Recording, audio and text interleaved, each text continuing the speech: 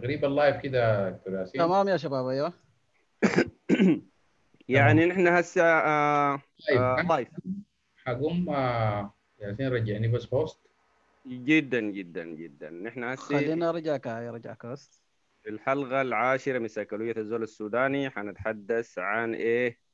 أنا طبعا منتظركم عشان ما يحصل فراغ. بتكلم بعد ذاك المايك عندكم في أي لحظة. نعم. آه إنه نحن في الحلقة العاشرة من سيكولوجية الزول السوداني وحنتحدث عن الحركات المسلحة والسلام. عن, عن السلام أيوة كيف بالضبط. يتحقق السلام السياسي فعلا لا قولا والنزاعات القبلية في شرق السودان.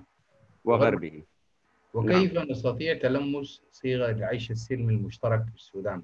أستاذ محمد جمال الدين مرحبا بك في الحلقة العاشرة. قبل شوي إحنا بدينا اللايف لكن بكل أسف حصل interruption وحصل مشكلة فنية. فكتر خير وحبيبنا ياسين أنقذنا. تفضل يا أستاذ محمد. أهلا أهلا أهلا بك دكتور أنور واهلا بالأخ الشاب ياسين. وشكرا له. نحن طبعا بالنسبة للناس اللي تابعوا ال- ال live الماضي إنه حصلت مشكلة فنية. أظنها آه، من آه، يعني أقدار فنية. وسعينا لحلها هسي وبدينا هسه نحن بدينا اللايف من جديد. آه، لغاية الساعة أنا ما جاني رابط آه، في الفيسبوك. آه يبقى نحن هسه في الوقت الحاضر دي مقدمات عشان نعمل رابط للأصدقاء في منبر الباحثين وفي صفحتي على الفيسبوك عشان نبدأ ونستطيع أن نشارك كلنا مع بعض. هسه المفروض وصلتك. آه أيوه وصلتني وصلتني جدا. أيوه. آه أيوه. correct correct آه طيب آه بنعتذر آه بإنه الرابط ال- sorry ال live الماضي آه حصلت فيه مشكلة. وهسه نحن حنبدأ من جديد. نتمنى إنه ال mood يرجع. آه لأنه كان تحدثنا حوالي نص ساعة ربما أكثر من نص ساعة. ولكن حصلت أقدار وبالتالي ال live آه اتشطب وبقى ما عنده معنى. آه، بالتالي حنبدأ من جديد. مرحبتين حباكم في منبر الباحثين السودانيين. آه، تحية المجددة لدكتور أنور والأخ الأستاذ ياسين الذي هو على ال host بتاع ال live. شكرا له والآن نحن حنبدأ ونبدأ بالسؤال الأساسي اللي بدينا به قبل شوية. آه، إنه نحن عندنا أزمة كبيرة جدا في السودان. أزمة كبيرة جدا متطاولة. استمرت آه، يعني عقود عديدة. سنوات طويلة جدا ربما نصف قرن. يعني دائما السودان فيه حروب أهلية وإنه الدولة يعني ما استطاعت آه، يعني تعمل صيغة للعيش السلمي المشترك. تستوعب كل الناس. نحن كلنا كسودانيين لغاية هذه اللحظة هذه المرحلة الانتقالية للأسف فاشلين في إنه نعمل صيغة للعيش السلمي المشترك تستوعب كل أبناء وبنات السودان كل شعوب السودان في أركان السودان الأربعة ووسطه. هنا عندنا أزمة كبيرة جدا جدا ونحن قلنا بإنه الدولة الوحيدة الآن فوق كوكب الأرض الوحيدة اللي عندها مرحلة انتقالية. والدولة ال ال الآن يعني عندنا ونحن موجودين قلنا موجودين في منطقة أكثر منطقة ملتهبة في العالم موجودين في منطقة القرن الأفريقي يعني مسجلة في جينس للأرقام في الكتاب الشهير بأنه أكثر منطقة فيها حروب أهلية وفيها نزاعات وفيها عدم استقرار هي المنطقة الموجود فيها السودان جغرافيا وبنعرف الحرب بين الجنوب والشمال يعني الحرب الأهلية استمرت يعني عقود عديدة. بعد ذاك آه حرب في شرق السودان حرب في آه دارفور آه وحروب مستمرة حرب في جبال النوبه حرب في النيل الأزرق وليس في السودان فحسب هناك الحرب الإريترية والاثيوبيه وإريتريا انفصلت عن إثيوبيا قبل جنوب السودان ما ينفصل عن بقية السودان. آه وهنالك برضو الحرب الصومالية التي أدت أيضا إلى تشتيت الصومال. وتشريد معظم أبناء وبنات الشعب الصومالي. هنالك برضو المجاعات والمشاكل برضو القبلية في في في الصومال وفي أثيوبيا نفسها آه بين الأرومو والامهرنجا بين ال التكرينجا والجماعات الأخرى الكثيرة الموجودة هناك في السودان في في الصومال. قلنا قبل شوية. نحن قاعدين في منطقة صعبة جدا جدا لازم نعاين لواقعنا. وانه كمان برضه كمان موقع السودان متميز جدا أكثر من بقية الدول ذاتها في القرن الأفريقي ومتميز ممكن يكون موقع السودان أكثر تداخلا وتميزا وتمايزا في العالم. يعني إذا عينت للسودان الحدود بتاعته يعني من الصحراء إلى الاستوائية ومن البحر الأحمر إلى أعماق أفريقيا الغربية والسودان أيضا مطل على البحر الأبيض المتوسط عبر إطلالته على مصر وإطلالته على ليبيا ومسألة الهجرة قضايا كثيرة جدا مطل على البحر الأحمر وتعقيدات البحر الأحمر المعروفة والموجوده يعني في فلسطين وفي إسرائيل والمناطق الملتهبة في في الشرق الأقصى الأوسط سوري. نحن موجودين في حتة حتة معقدة يعني فعلا وبالتالي علينا أن نشوف التعقيدات والتداخلات الموجودة مع الأقليم وتداخلاتنا مع العالم ونحن نؤثر في العالم ونتأثر به. لازم نعاين للصورة الكلية ونعاين برضه لموارد السودان وكيفية توزيعها. هي الموارد دي ذاتها كم؟ يعني في الحقيقة لازم نكون عارفين علميا.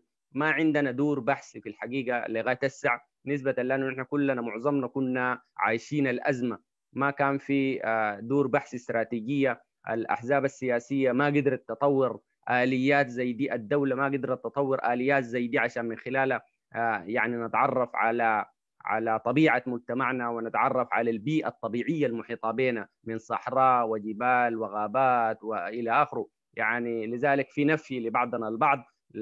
في قلنا المرات اللي فاتت نحن ما رضيانين من نفسنا على جميع المستويات. وهسي حتى كمان أنا قبيل الشرطه لحاجة مهمة جدا إنه أنا لما أتحدث الآن هذا الحديث ما معناته أنا المعلم وأنا عندي الحلول وأنا يعني خلاص كلامي ده آخر كلام وأفضل كلام في العالم. لا إنما نحن كلنا بنتشاور في الأزمة ونحن كلنا بنحاول بقدر الإمكان لأنه قلنا بتنقصنا دور البحث الاستراتيجية ما موجوده عندنا.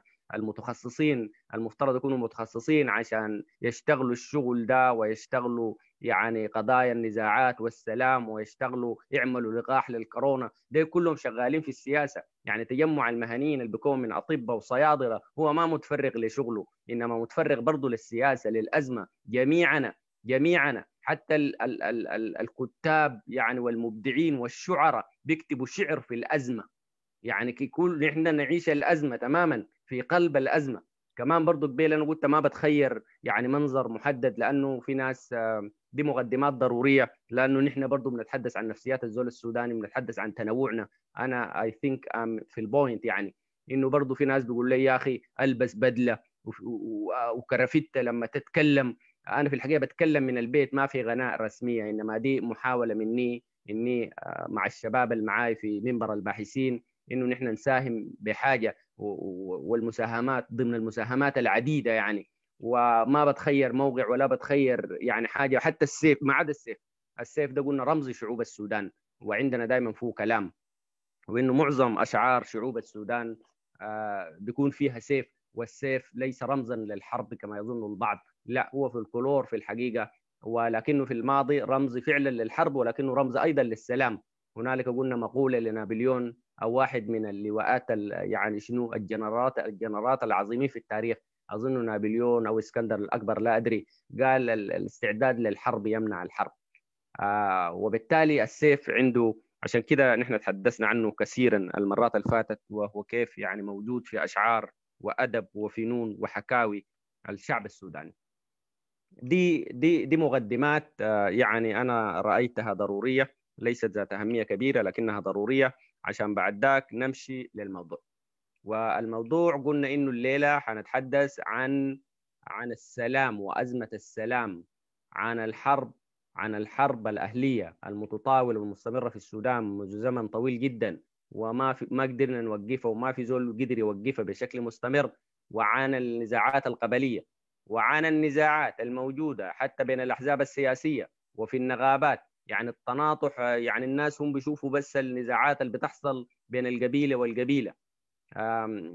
ليس هذا فحسب. في نزاعات بالمناسبة بين الطريقة والطريقة وفي نزاعات بين النغابه والنغابه وفي نزاعات عظيمة جدا داخل الدولة نفسها على مر التاريخ يعني. في نزاعات نزاعات نحن نعيش نزاعات مستمرة لأنه ما قدرنا نخلق صيغة للعيش السلمي المشترك. السلام هو ليس سلام إيقاف الحرب الأهلية. لا السلام هو أن تجعل صيغة للعيش السلمي المشترك تستوعب كل تنوع السودان. وقلنا في الحلقة اللي فاتت بأنه حتى آداب وفنون السودان مش كمان الرؤى السياسية بس وتقسيم السلطة والثروة بل آداب وفنون السودان شعوب السودان أيضا عندها مشكلة وإبعاد وإخصاء من المنابر الرسمية. آه نسبة لأنه قلنا البنيات الثلاثة اللي بتشكل السياسي وبتشكل الاقتصادي وبتشكل الثقافي وبتشكل الاجتماعي في السودان البنيات دي نفسها متشاكسة مع بعض. وهي ثلاثة بنيات. قبل ما ندخل في الموضوع مباشرة اسمحوا لي دي حاجة خطيرة ومهمة جدا وأتمنى أوفق في شرحها. قبيل في اللايف الفات اللي إحنا شطبناه أنا يعني شرحتها أتمنى تاني أقدر أقدر اعيدها بالضبط عشان بعد ذاك نفهم الصورة الكلية ليه في نزاع قبلي وليه في قبيلة بتقتل الأخرى وليه في صراع يعني في الريف والمدينة، المدينة نفسها فيها صراع عنيف جدا بين البنيات الحديثة نفسها بين اليمين واليسار، بين النغابة والنغابة، النغابة دي بالمناسبة هي يعني أصلا بنت الحداثة بنت الحداثة. زي ما زي القبيلة بتنتج أحزاب سياسية، القبيلة دائما بشكل مستمر طبعا بتنتج أحزاب سياسية. وقلنا تحدثنا دائما انه الحركات المسلحة وحركات الريف عموما بتستند إلى القبيلة، وقلنا هي في الحقيقة ما قبيلة، هي هي شعب. إنما قبائل السودان دي هي شعوب السودان. السودان ده في الحقيقة لحد ما جو الاتراك 1821 كان كان بتاع كان كونفدراليات. كان في دو كانت دول كان في دولة اسمها المسبعات في جبال النوبة ودولة اسمها سلطنة دارفور ودولة اسمها الفونج سلطنة السلطنه الزرقاء دولة السلطنه السنار. دي داخلة ذاتها في كونفدرالية. يعني هي ذاتها دو ما دولة بالمعنى الحديث للكلمة. كانت كونفدرالية. داخله في مملكة الجعلين ومملكة الشاقيه ومملكة الضناقله ومملكة البدويت اللي هم البقى وداخلة. لسه في حاجات كثيرة. وبعد ذاك في كمان ثاني سلطنة مجاورة لها بشكل مستمر اسمها سلطنة الشلك في التاريخ. دائما كانت موجودة. شفت كيف إنه السودان قبل يدخلوا الأتراك؟ دي ما قبائل دي شعوب. شعوب في يوم من الأيام عندها طبولة ونحاسة وعندها نشيد الوطني. ما يشبه النشيد الوطني. وعندها إرثها وعندها اشعارها وفنونها وادابها وعندها أحزاب السياسية اللي نحن يعني ما ما بنقدر نشوفها بالمعنى الحديث للكلمة لكن كان عندها تيارات السياسية وعندها رؤاها. آه دي دي يعني مقدمة ضرورية عشان أجي أنا أقول البنيات الثلاثة دي بتفعل فعلها كيف عشان نجي بعد ذاك نشوف الصراع على المستوى السياسي والحرب. الحرب دي ذاتها بتنتج من شنو وبتنبع من وين؟ عشان بعد ذاك فعلا نستطيع أن نلقى لها الحلول ونعمل فعلا سلام يعني sustainable peace سلام مستمر وسلام عادل وشامل. آه يعني آه ونعمل فعلا سلام فعلا لا غولا. ونعمل صيغة للعيش السلمي المشترك. فعلا تستوعب كل شعوب السودان. ونصنع دولة. اذا لأول مرة حنصنع دولة دولة المواطنة. دولة العيش السلمي المشترك عقد اجتماعي يستطيع أن يحقق السلام والأمن والرفاهية لجميع أبناء وبنات السودان فوق الرقع الجغرافية الكبيرة الممتدة دي. ده كيف بيحصل. وشفنا قلنا دائما بأنه كان في محاولات كان دائما في محاولات في الماضي للسلام مثلا بين الجنوب والحرب حرب الأهلية في جنوب السودان. كان في منذ 1955 لما بدأت كان في محاولات لاستيعاب عبر القمع والعسف ثم محاولات لمحاولة تهدئته عبر اتفاقيات سلام بطيئة وصغيرة لكنها دائما كانت فاشلة وكانت بشكل مستمر. الحرب بتشتعل بتشتعل بشكل مستمر لحد جاء مؤتمر المائدة المستديرة في أيام الديمقراطية الأولى الديمقراطية الثانية 1964 آه ولكنه لم يحقق السلام. ثم حصل انقلاب نميري ونميري بعد سنتين وهو في السلطة آه عمل اتفاقية أديس أبابا سنة 1972 مع حركة آه الأنانيا.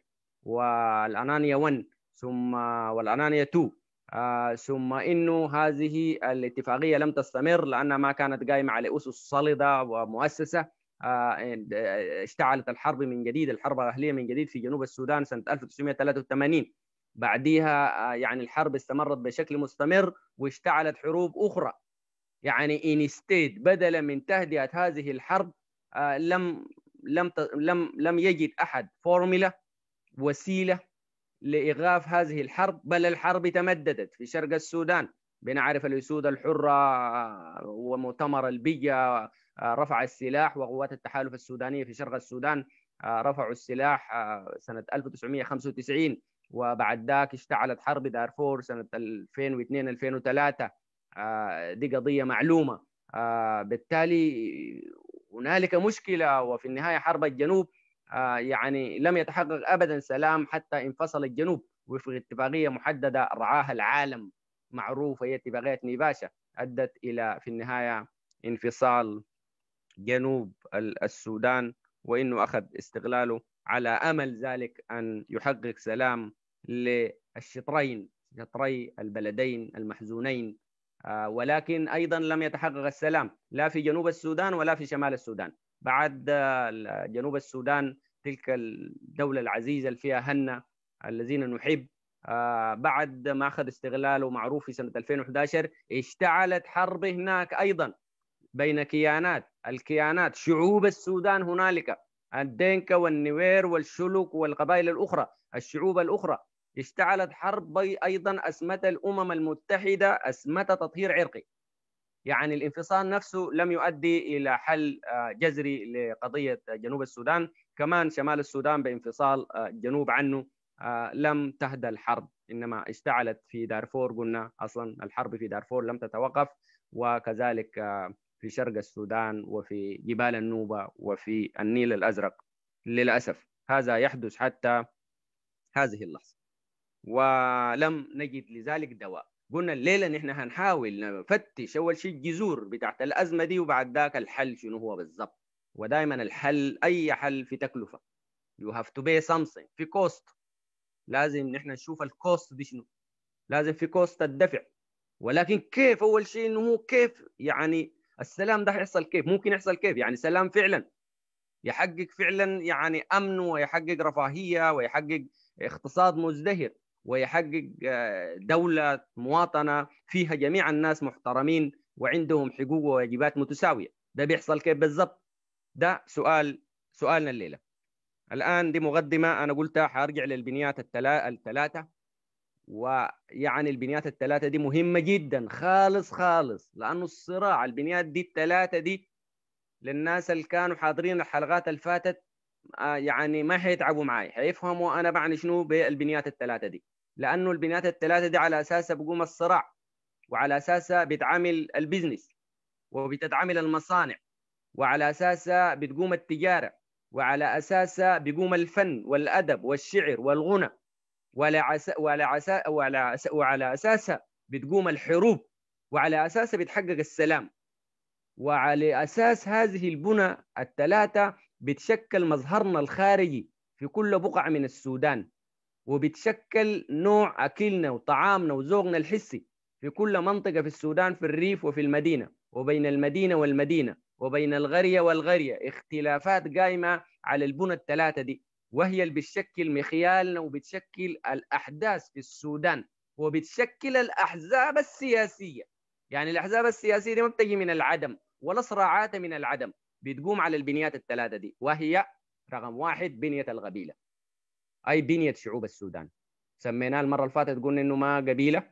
قلنا دائما بنكرر إنه دي ما اسمها قبائل لأنه القبيل كلمة قبيلة دي بتحمل نيجاتيفيتي سلبية. بتحمل سلبية من الإقصاء الإقصاء. لأن أنت لما تقول دي قبيلة والقبيلة تافهه ما القبيلة دي بتولد عنها أحزاب سياسية وحركات مسلحة. معناته أنت ده نفي ده نفي لآخر أصلا ما عنده وسيلة للتعبير عن نفسه. في مستوى الدولة ما عنده طريقة للتعبير عن نفسه إلا عبر التجليات بتاعت الشعوبية. التجليات الشعوبية شعوب السودان. قلنا شعوب السودان دي لم تكن آه، الحاجة اللي اسمها قبائل دي الحاجة اللي اسمها قبائل دي كانت شعوب وكانت دول. قبل ما جاء الأتراك مباشرة الكلام ده مهم جدا ترديده ونتذكره. إنه هذه هذه القبائل اللي بنسميها قبائل دي شعوب السودان في يوم من الأيام كانت دول عندها الملك المحدد أو السلطان المحدد. وقلنا هنالك سلطنة الفونج قبل شوية وسلطنة المسبعات في جنوب في في في جنوب كردفان وفي سلطنة الشلوك وفي سلطنة دارفور وفي المكنمر. ملك الجا ملك يعني ملك. مش ناظر ولا عمدة. ملك دي مملكة. عندها حدود وعندها نشيد الوطني. عندها طبولة وعندها نحاسة. كلها المملكة الشاقية. الملك عبود على سبيل المثال. ده عندي بلد عندها شعير وعندها أدب وعندها أكل وعندها طريقتها في الحياة وعندها طبولة وعندها نحاسة وعندها رموز. دولة يعني دولة دولة الضناقلة كانت دولة. زبير طه الملك يعني في التاريخ ده ملك وأهله ملوك كده آلاف السنين اللي ورا. عندهم حواكير وعندهم حدود وعندهم لغتهم وعندهم إرثهم وعندهم تاريخهم. كل كل الشعوب دي كده شعوب السودان. توحدت عسفا لما جاء دخل محمد علي باشا السودان سنة 1821 نحن في البنية رقم واحد. حنجي تاني بعد شوية لبنية الطائفة وبنية المدنية. دي الثلاثة بنيات اللي بتشكل الصراع في السودان لازم تركزوا معي وإن شاء الله ربنا يوفقنا أقدر أشرح الحتة دي كويس جدا. بالنسبة للناس يعني ما حضروا الحلقات اللي فاتت. فالبنية بنية شعوب السودان دي يعني هي اللي بتشكل مخيالنا في الأساس وهي اللي بتشكل السياسة وبتشكل الاقتصاد وبتشكل الاجتماعي. وبتشكل حياتنا وبتشكل مخيالنا وبتشكل كل حاجة. حتى الموت والشعائر الجنازة وبيت البكا وبيت العرس والحنة والختة والحياة الصغيرة اللي بتشوفها صغيرة دي دي كلها أصلا جاية من وين؟ بتجي من البنيات دي. كل بنية عندها حاجات المتميزة وهم مع بعض برضه في نهاية الفصل الأكاديمي. في لحظة ما بيحصل تداخل تشابك مستمر. يعني الزول بتشكلوا الثلاثه بنيات لكن في زول بيشكلوا بنية واحدة بس وفي زول بيشكلوا بنيتين مننا. في واقع برضه مش زول بس واقع بيشكلوا بنية واحدة. زي واقع الأغاليم مثلا الحركات المسلحة في الريف السوداني. الريف السوداني دائما أصيل أكثر بالتالي اللي بتشكل بنياته بتشكل مقياله هي بنية الشعوبية بنية القبيلة. القبيله دي أنا دائما قلت نستخدمها لأنه ما في طريقه غير استخدامها للتبيان لكن هي شعوب السودان. لكن القبيلة هي اللي بتشكل مخيال الناس ولو تلاحظ إنه الأكل عندها اكله العصيدة والكسرة واللقمة واللبن والسمن والحاجات دي كلها حقت القبيلة. وبعد ذاك يعني كل شيء. وبعد ذاك عندها احزابها السياسية. أنا قلت لما الزول يجي يقول يا أخي القبلية لا للقبلية لأنه الانقلابات العسكرية بتجي أصلا هي من المدينة ضد الريف بتقول لا للقبلية ولا ولا ولا لا لكل شيء. وهي ذاتها طبعا بنية المدنية ذاتها منقسمة داخلة. هسه نتحدث عن البنيات. بنية المدنية منقسمة داخلة. لكن الاثنين الانقسام ده كله دائما ضد شعوب السودان بشكل مستمر. ضد تجليات السود... شعوب السودان الاقتصادية وأدب شعوب السودان. كل شيء مضطهد. شعر وأدب وفنون وأكل. بيستبدل حتى الأكل بيستبدل بأكل جديد حديث. بيبدأ بالفول المصري والبيض ده أصلا ما كان موجود. والأكل اللي بيجي في الفطور الصباح ده في المدينة ده أصلا ما موجود القمح ده أصلا ما موجود. كان شعوب السودان بتاكل الفتريتا وأنواع مختلفة من الذرة وفي الوسط وفي أرجاء كثيرة وفي الغرب في الدخن وفي في كردفان وفي دارفور وفي أنواع أخرى من الحبوب وفي أنواع كثيرة من الأكلات. تحدثنا عنها المرات اللي فاتت. دائما دائما في صراع بين الريف والمدينة. هو ما صراع هامش ومركز. ده حنوضحه بعدين في الختام إنه شنو الهامش والمركز ده شنو بالضبط وليه هي في الحقيقة نظرية يعني طبعا فيها فيها خلل ما. هي ضرورية للحرب فقط لكن ما بتصنع الصيغة بتاعت العيش السلمي المشترك لأنه صيغة العيش السلمي المشترك مفترض تستوعب الجميع. في الريف والمدينة وجميع الأعراق وجميع الألوان وجميع الأحزاب وجميع الأيديولوجيات وجميع التيارات ده ده حنحكي عنه حنحكي عنه بعدين البنية بتاعت شعوب السودان دي أهميتها أنا مركز عليها ليه؟ لأنه بعد شوية حنجي للاختتال الحاصل في شرق السودان حاصل ليه؟ وأسبابه شنو؟ وجاي من وين؟ حنتحدث عن الحركات المسلحة نفسها جاية من وين؟ والمستقبل بتاعه شنو؟ داخل البنية بتاعت البلد الجغرافيا بتاعت البلد اللي اسمه السودان. دي دي لمحة لبنية القبيلة وتاريخها قديم جدا. بنيات شعوب السودان. دي بنيات قديمة جدا جدا جدا. ثم جات الطائفة. الطائفة دي لما جات اللي هي الطرق الصوفية. قلنا الحلقة اللي فاتت تحدثنا عن عنها في حلقة كاملة اسمها يعني شنو؟ في الحلقة الفاتت كم حلقة؟ يعني تحدثنا والحلقة الأولى تحديدا عن إنه يعني أهمية الموضوع ده شنو؟ يعني كيف يعني طرق صوفية السودان وطوائف السودان دي مؤثرة وخطيرة عشان أنا أتحدث عنها وأديها وقت قدر ده طبعا مؤكد مؤكد يعني إنه البنيات دي بنيات شعوب السودان آه، يعني ال- ال- الطائفة منها ال- الطائفة مسألة آه، مسألة حاسمة جدا لأنه برضو بتنبني عليها أحزاب وتيارات سياسية وتنبني على أساس رؤى وبتشكل على أساس قدر كبير من خيالنا. آه، ده آه، يعني بالإضافة إلى إنه برضه عندها فنون وعندها آداب. اللي قلنا المرة اللي فاتت بتمثل في المديح والنوبة وال آه، الدرويش عندها رقصات أو عندها اكله برضه زي الفتة دي مثلا. أصلا الرز اللي بيجي مع الفتة ده أصلا ما كان موجود في السودان. يعني ده برضه دخل مع التصوف. أنا ده يؤدي لمحة إنه كيف ال- ال- البنية دي يعني بنية آه، عندها تاريخ في السودان وقلنا كيف حاجة معلومة ثانية مهمة جدا جدا إنه بنيات البنية الطائفية دي كلها هسه في الوقت الحاضر أنا هي الطريقة الصوفية البنيه الطائفية أنا بسميها. آه، ممكن تشاهد آه، أي قريه تقريبا فيها قبة. إذا ما القريه دي القريه اللي بعديها. القبة دي طبعا ما قاعدة ساكت ده طبعا ده business فيها عبادة صح لكن ده business ودي تجارة ودي ال- المسجد ده مدرسة والخلوة في يوم من الأيام ما كان في مدرسة غير والمحكمة والإفتاء وهو مأوى لأبناء السبيل وبنات السبيل ومستشفى للناس ال- اللي عندهم مشاكل نفسية أو عصبية أو عقلية أو مرض جسدي. آه، يعني هو حاجة كبيرة جدا وإذا بأيضا لأنه عنده عندها أتباع وعندها حواكيرة وعندها برضو اقتصادة أيضا بتتشكل عنها أحزاب سياسية. وقلنا في ال- ال- المرات اللي فاتت بإنه دقيقة. في زول في الباب مزعجني جدا. لحظة لحظة لازم. تمام. طيب هنا في اللحظة دي إحنا ننبه إنه الناس الدايرين يتابعوا السلسلة بتاع سيكولوجيه الزول السوداني. هي موجودة على اليوتيوب في قناة الباحثين السودانيين. وفيها عدد كبير جدا من ال- الفيديوهات مهمة جدا الناس تتابعها تشوف التسلسل بتاعها من المدخل من خلال المجتمع من خلال الفرد وإلى آخره. لحد آه، آسف آسف آسف نعم. جدا جدا لا، جدا تفضل، آسف جدا. آسف آسف. آسف أنا طبعا في البيت. نعم تفضل. يعني إنه بتحصل أقدار ما. وديل شوف الجيران. نعم. مرات أهلهم بيقفلوهم ولسبب ما يعني بيكون اللهم مثلا في المطبخ أو كده ما بتفتح لهم فبدقوا لي أنا. أفتح. دائما في مشاكل في العالم لكن هنا المشاكل طبعا.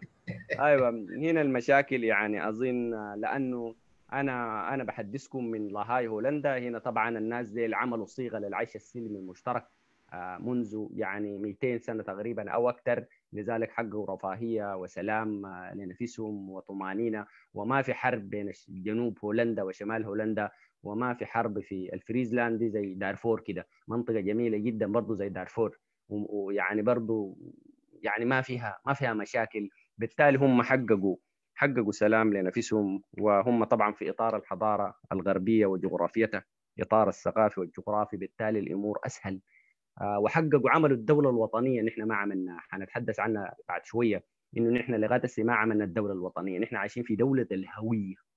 عشان كده في صراع هويات في السودان. لأنه الدولة نفسها هي دولة الماضي. ما في لسه ما عملنا دولة حديثة.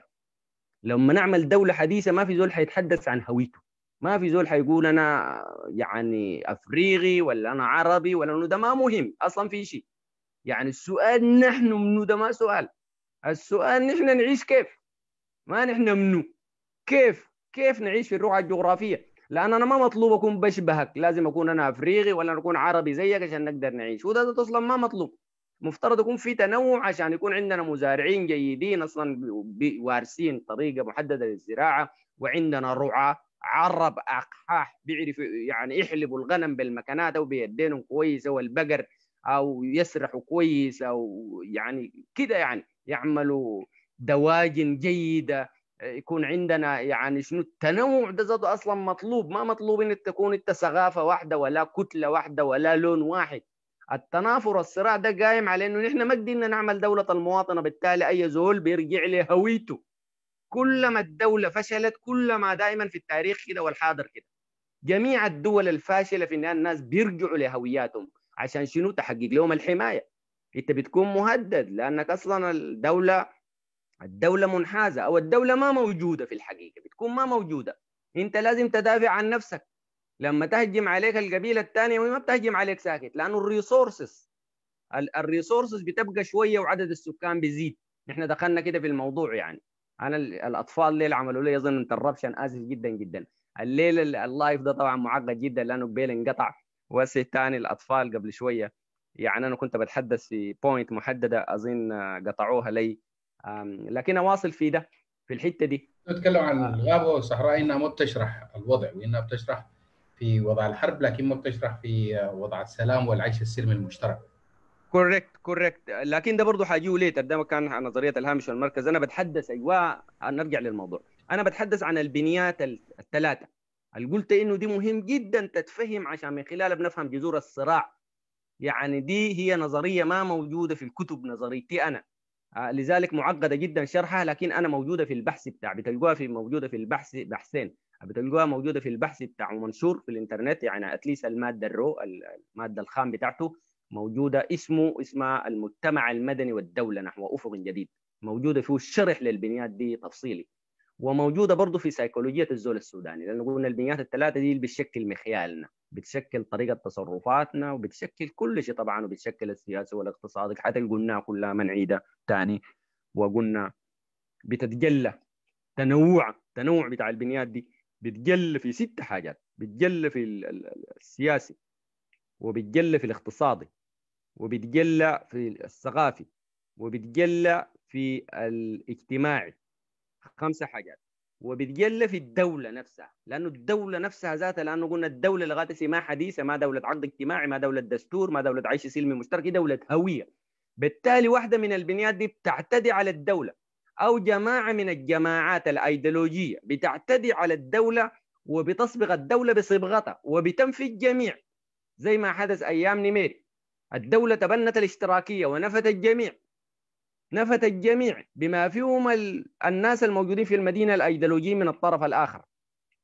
ونفت الريف لدرجة أنه الريف الطوائف بتاعت السودان جزء من طوائف السودان سمي بالرجعية وتمت الاغتيالات المشهورة في الجزيرة أبا وفي بيت الضيافة وغيره. ثم جاءت الإنغاز اعتدت على الدولة وصبغت الدولة بصبغتها. يعني جماعة واحدة بتقول الدولة حقتها. دي دولة الهوية ما الأيديولوجيا نفسها هوية. الهوية مش العرقي بس والدين بس الأيديولوجيا نفسها هوية. بيصبغوا الدولة بصبغة الهوية الأيديولوجية وبعد ذاك بيقولوا كل شيء غلط. أي حاجة لازم تقيف لأنه التنوع ما بيسكت لازم توقفوا بالسلاح. عشان كده هم كمان حاولوا يوقفوا التنوع بالسلاح. وكمان التنوع ده كمان مش السياسي بس والحرب الأهلية. حتى الفنون بتاعت السودان.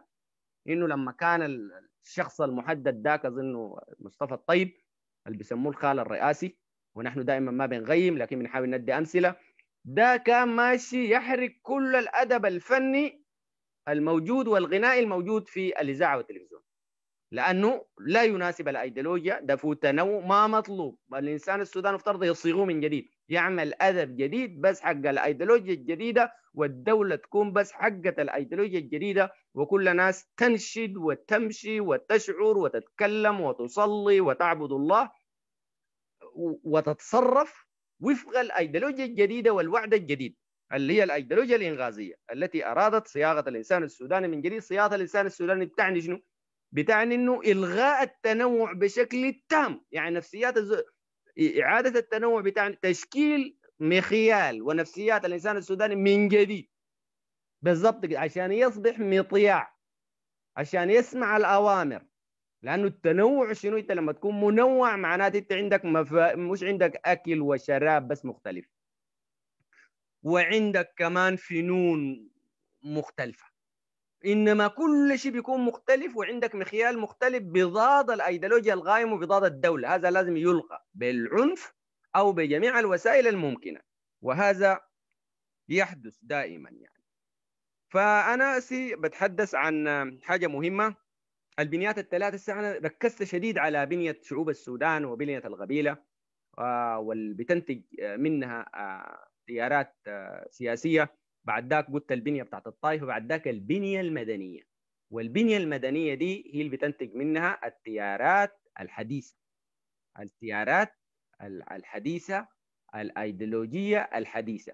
واصلا هي البنية دي بنية المدنية المدنية هي قلنا المرات اللي فاتت وفي حلقة كاملة يعني شنو مدنية؟ مدنية ويعني شنو؟ حلقة كاملة للناس الدايرين يعرفوا حاجة يرجعوا لها وقلنا اللايف ده الليلة يعني انقطع يعني مرتين ولكن يعني هو ضروري جدا وصعب جدا ومعقد جدا. داير الناس الشويه الحريصين يتابعوا معي متابعة بشدة.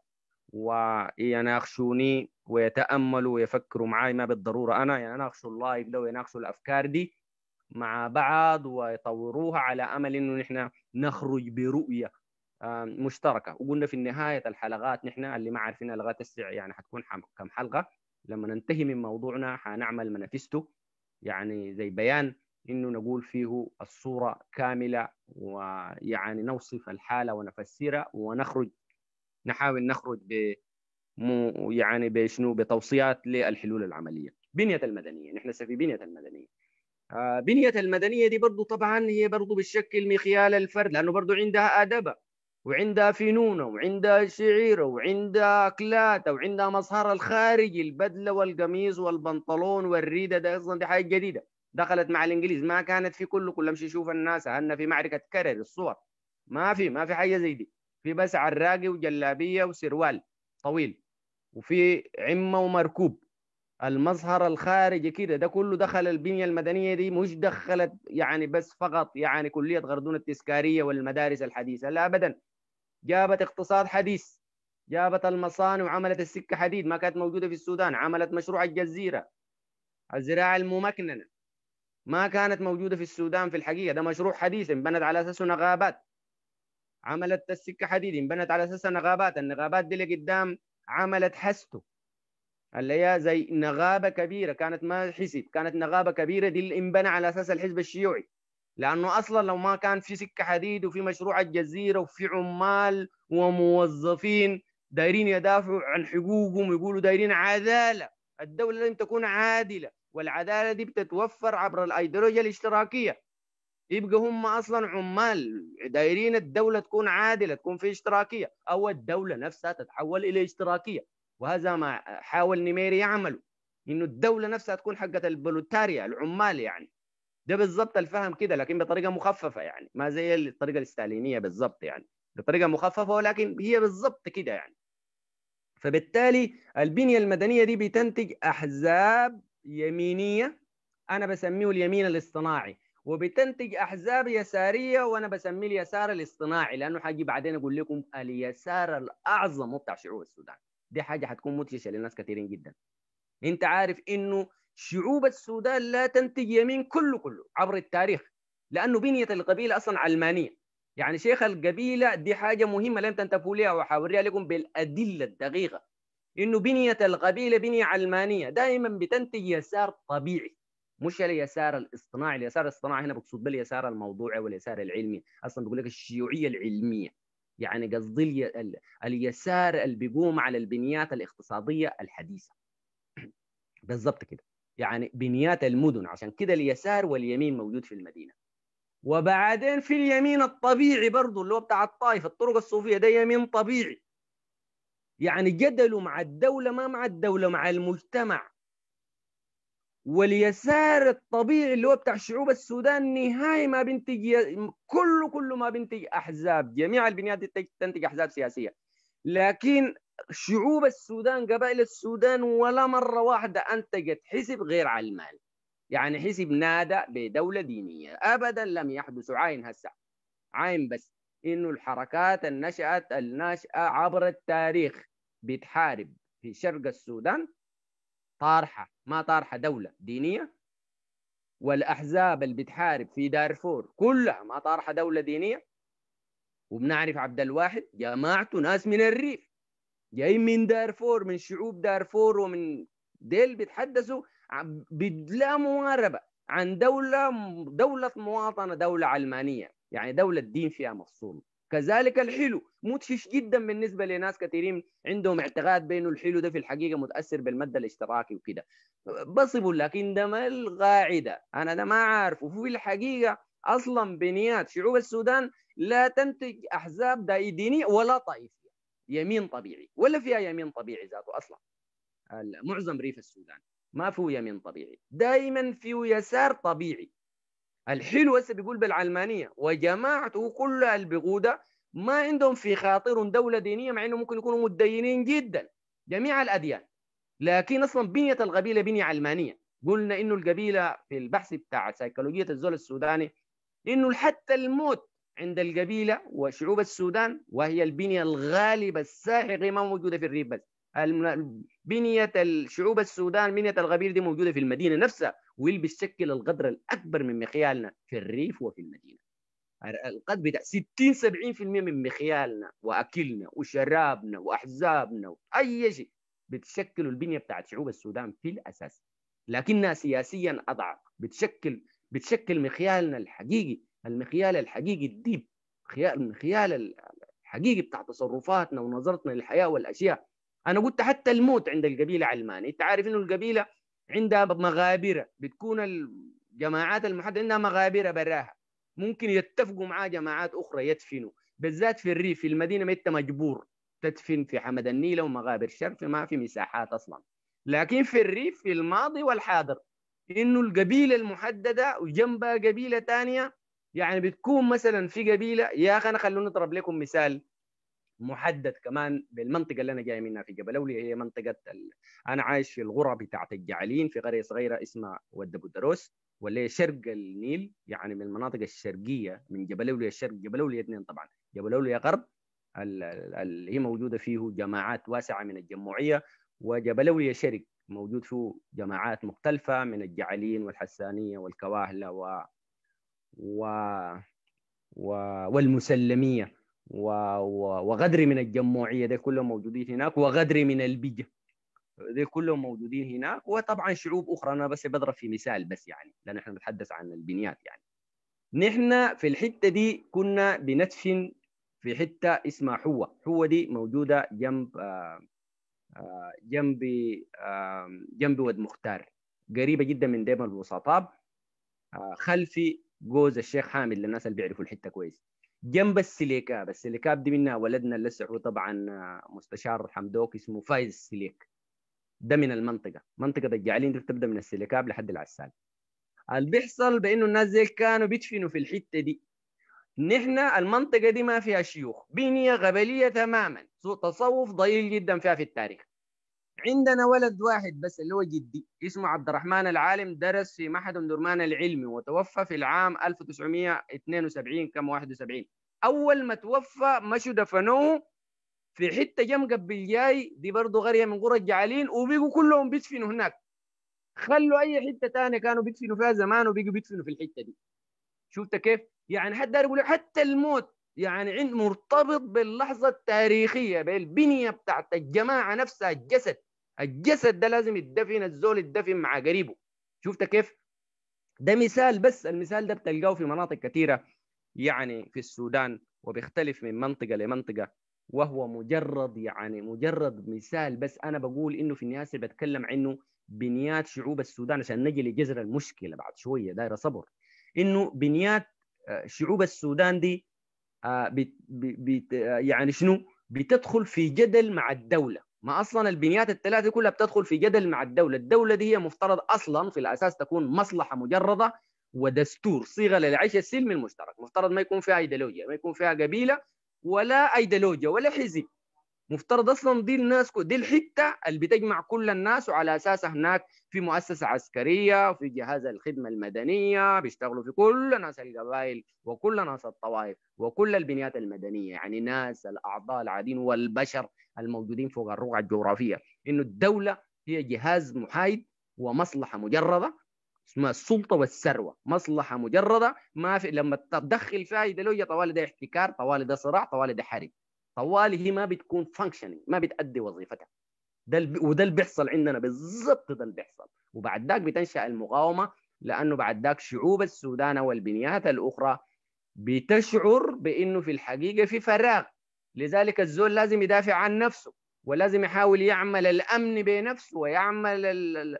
شنو معاشه بنفسه ويعمل شنو رفاهيته بنفسه ويحافظ على نفسه من الموت يسعى إلى البقاء على البقاء على وجه الأرض بنفسه لأنه الدولة غير موجودة يبقى في اللحظة دي القبيلة نفسها بتتحول إلى شنو؟ أداة لحفظ الأمن لما تتحول اداه لحفظ الامن بتبقى هي ذاتها سياسية بتسيس في حلقة من الحلقات قلنا أزمة السودان في ادلجه القبيلة ادلجه الطائف ادلجه النغابه النغابه دي طبعا طوالي معناه مقابل للقبيلة مقابلة للطائفة لكنها موجودة في المدينة. حاجة حديثة الناس يفتكروا شنو العلاقة؟ هي نفسها. لأنه النغابه دي شنو؟ هي الجماعات الواسعه المحزبة والغير محزبة. الموجودة في المدينة والناس الماشيين الملايين الماشيين في الشوارع ديل هم ديل أصلا عندهم مصلحة محددة في المدينة بتتحقق عبر تجمعاتهم نواديهم نادي الهلال ونادي المريخ ونادي غابات المهنيين والحرفيين والغير النوادي الكثيرة اللي بتشوفها دي مظهر والمصانع الحديثة. دي كلها يعني عندها جدل مع بعض وعندها مصلحة لأعضاء وعندها مصلحة مع الدولة مباشرة لأنهم كمان موجودين في المدينة. عندهم جدل مع الدولة مباشرة. يعني مصالحهم بتتحقق عشان كده هم الدولة مهمة جدا بالنسبة لناس القطاع بتاع المدنية ده. ال ال ال ال البنية المدنية دي الأساس بتعتاش على أساس الدولة. في المهنيين والمعلمين وال... والأطباء والقانونيين والليل طوال الدولة ملتصقين بالدولة مباشرة انهم موجودين فيزيكالي في المدينة مع الدولة. لكن شعوب شعوب السودان أساسا ما معتمدة على الدولة معتمدة على الأرض. الأرض أول شيء. الأرض والرصوص الموجودة في الأرض. الدولة دائما بعيدة منها لأنه قلنا الدولة دولة هوية والدولة ما دولة مواطنة وما دولة خدمات لغاية إحنا ما أسسناها. عندنا مرحلة انتقالية هسه في مفاوضات بتحصل ونأمل إنه نحن نصل لصيغة للعيش السلمي المشترك عشان نعمل دولة مواطنة. يتحقق داخلها تتحقق داخلها يعني شنو؟ توزيع عادل للسلطة والثروة. وداخلها يتحقق تتحقق حاجة مهمة جدا. الحقوق والواجبات تتأسس على قدر مساوي لكل شعوب السودان وبناء وابنات السودان بغض النظر عن وجودهم في الريف أو المدينة. بقول إنه القبيلة بتعتمد على الأرض أكثر ما الدولة. لذلك الصراع برضه بيجي على الريسورسز. ما الدولة؟ وما الدولة دي بعدين بتمشي لهم فعلا لظروف إن هي ذاتها محتاجة للأرض للأرض. عشان كده بيحصل صراعات وبيحصل الصراعات بتزيد. لكن غير الدولة بالمناسبة لأنه الأرض ثابتة. والريسورس الثابته وعدد السكان بيزيد. ده برضو واحدة من المشاكل بالإضافة إلى إنه الأقليم متداخل معانا في شرق السودان وفي غرب السودان وفي شمال السودان وفي جنوب السودان. دائما في تداخل قبلي في تداخل شعوبي.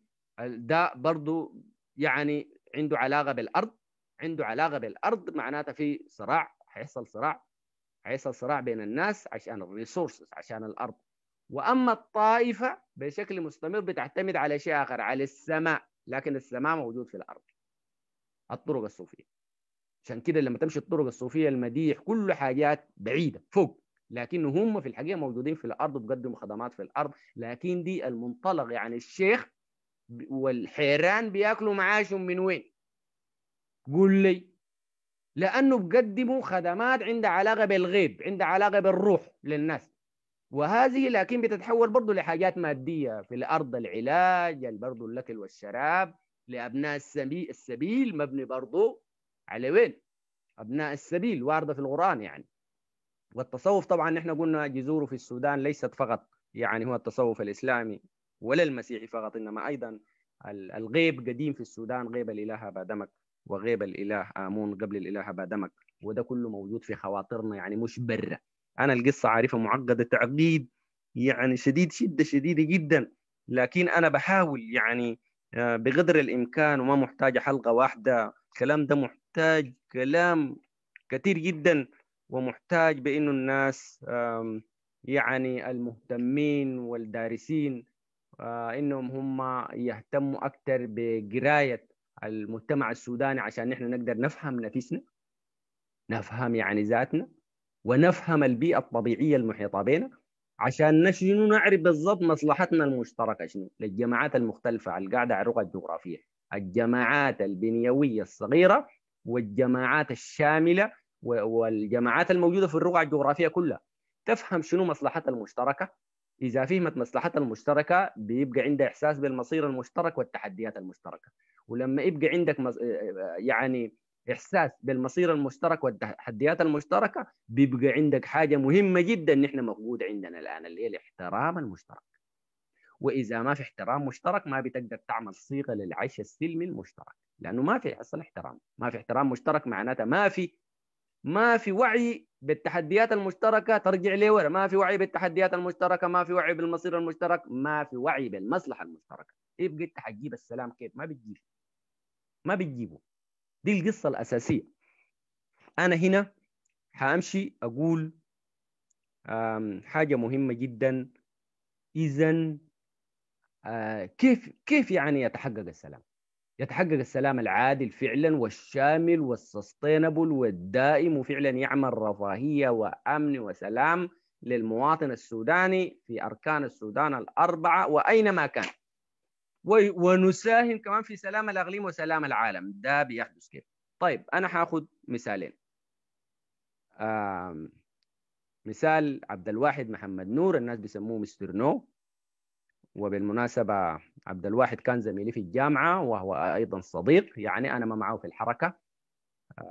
ما كنت معه أبدا لكن بحترمه جدا واحترم حركته جدا واحترم نضالاته جدا. وبعد ذاك حآخذ الحلو عبد العزيز الحلو. وحركته وجماعته ومناطقه المحررة. طيب أنا طبعا ما بتحدث بلسان زول لكن هسه إحنا مشينا للعملي. أنا لأني ظني كترت النظري قلت يا أخي في ناس بيحبوا العملي نمشي للعملي.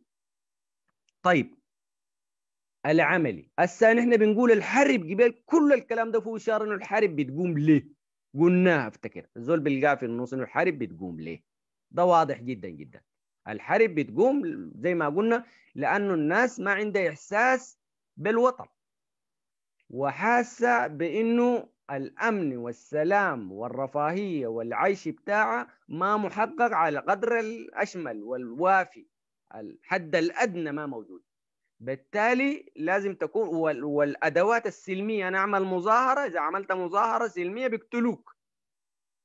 بيقتلوك. وده اللي بيحصل كان. تقوم مظاهره سلمية في كجبار قالوا ما داري السد قتلوه الكلام ده بيحصل من بدري. قاموا الأنصار في الجزيرة أبا قالوا كده كده ما عايزين نرسلهم طيارات قتلوهم.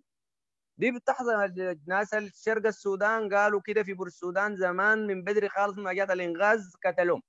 نحن في جامعة خرطوم في يوم من الأيام أنا موجود قتلوا أربعة من زملائي. طلعنا مظاهرات سلمية.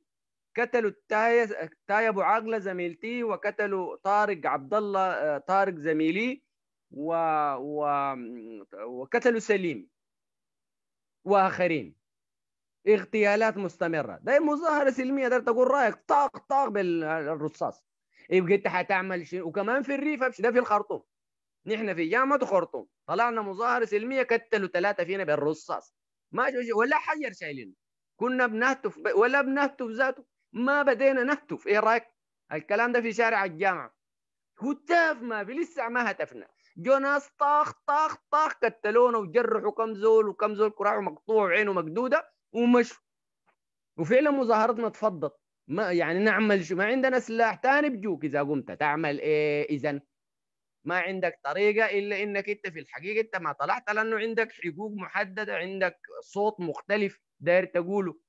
في سلاح طوالي بده تواجه به يبقى لازم كمان نمس ترفع سلاح أنت برضه أنا من الكتلة بتاعتنا دي ومن الضرب بتاعنا ومن الاعتقالات والتعذيب. طوال أول ما تخرجت من الجامعة فتشت حركة مسلحة. طوال لأنه عرفت إنه الموضوع ده داير سلاح. طبعا بعد ذاك أنا فهمت بأنه السلاح وحده ليس كافيا وفي وسائل أخرى. لكن كنت صغير ومتحمس. مشيت طوالي الحركة الشعبية لكن ما قبلوني. أظن الوقت ذاك لسبب من الأسباب ما فهموني. وفي النهاية فتشت في الدائره كاتل بشكل داير يمسك مسدس. داير يشيل لي مسدس. برغم إن أنا ما شلته أنا اشتغلت في الجناح السياسي والإعلامي فقط. مشيت قوات التحالف السودانية. كنا بنقاتل من الشرق. يعني داير أقول لك إنه القصة دي يعني هسه أنا بتحدث إنه الحرب بتنشأ كيف؟ الحرب بتنشأ للأسباب دي. إنك إنت صوتك ما مسموع وبتقول عندك حقوق يعني عندك حقوق بتنادي بها سواء كنت أي جماعة كانت في شنو في الأقاليم أو في المدينة. عندك حقوق بتنادي بها وفق وجهة نظرك وفق ما تراه. الحقوق دي ممكن تكون حقوق مادية أو حقوق معنوية حريات عامة أو حقوق مادية أكل وشرب أو أرضك أو قروشك أي حاجة حاجة مادية أو حاجة معنوية. دي كلها حقوق حسب ما ترى. لا ممنوع. عشان كده أنا سما مثال أنا بضرب يعني دي مجرد أمثلة عن الناس كثيرين طبعا الصراعات كثيره جدا. أنا مشيت قوات التحالف السودانيه سدام مجرد يعني مثال إحنا في سيكولوجية الزول السوداني. أنا مشيت قوات التحالف السودانية وقعدت سبع سنوات واستقلت سنة 2004 وبعد ذاك بقى لغاية الساعة ما عندي حزب سياسي ومستغل زيي وما زي أبناء بنات الشعب السوداني. وطبعا مؤكد في ناس محزبين في اليمين واليسار نحترم وفي الريف والمدينة نحترم. ودائما يعني نحن محتاجين للتنظيمات السياسية والنغابيه والطائفية. برضو ما في حاجة اسمها لا للطائفه الطائفة كعبه يا أستاذ. ده نفي قلنا طوال. ما في الطرق الصوفية دي طرق قديمة جدا جدا وقلنا في يوم من الأيام كانت هي البديل للمدنية لما كانت ما في. لأنه الطائفة والطرق الصوفية أنا بعني بالطائفة الطريقة الصوفية اللي موجودة في كل قريه وكل قريه قلنا فيها قبة. يعني مش الطائفة هي المهدي وال... والميرغني يا أستاذ لا. الطوائف الطرق الصوفية دي موجودة في كل قرية وفي كل مدينة وفي كل شبر من السودان وموجودة في راسك. جوا. درويش ده قاعد جواك يا أستاذ. بتشكل مخيالنا قلنا لأنه دي قاعدة لها قرون عديدة. وقلنا إنه التأثير اللي عملته في مخيالنا هو شنو بالضبط. طيب أنا قلت الساعة بضرب مثال بعبد الواحد والحلو. وتحية لكل الحركات والناس الرافعين السلاح لأسباب ولإنهم ما عندهم طريقة غير كده. ما في طريقة غير كده. ما في. في الحقيقة ما في. عشان كده هم رفعوا السلاح عشان يقولوا عندهم حقوق محددة مضطهدة. هذه الحقوق حقوق مادية وحقوق معنوية. واذا بالنسبة لعبد الواحد أنا مثلا قريت الميثاق بتاعت حركة تحرير السودان.